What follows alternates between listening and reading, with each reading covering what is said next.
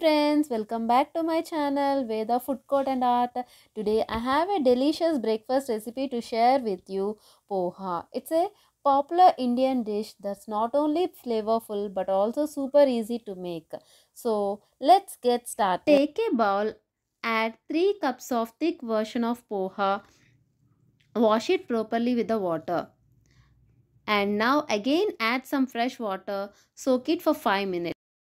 Take a pan, add 2 tablespoons of oil and let's heat up the oil. After that, add some mustard seeds, jeera and urad dal, chana dal and some green chilies, curry leaves, onions and half cup of peanuts.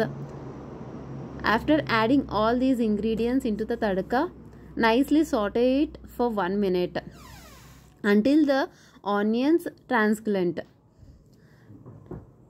Now it's time to add some salt as per your taste. After that nicely saute it. Add some turmeric. Again add some uh, roughly chopped roughly chopped tomatoes. Uh, nicely saute it. Close the lid. Uh, cook the tomatoes properly. See all the tomatoes are cooked properly.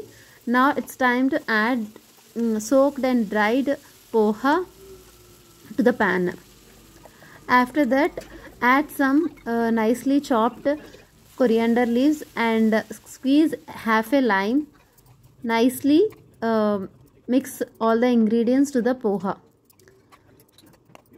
and close the lid for 5 minutes on low flame.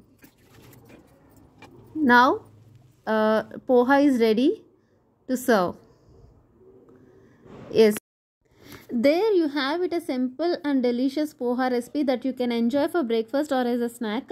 If you liked it this video please give it a thumbs up and subscribe to my channel for more tasty recipes and don't forget to hit the notification bell so you never miss the update. Uh, thanks for watching and I'll see you in the next one. Thank you.